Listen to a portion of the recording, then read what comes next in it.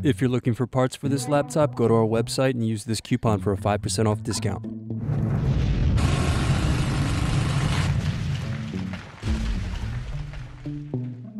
Slide tabs outward to unlock and remove battery. Then unscrew and remove base cover.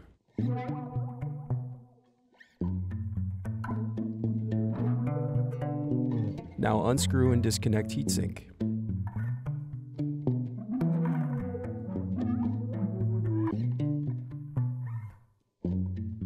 Next turn locking screw counterclockwise to remove CPU.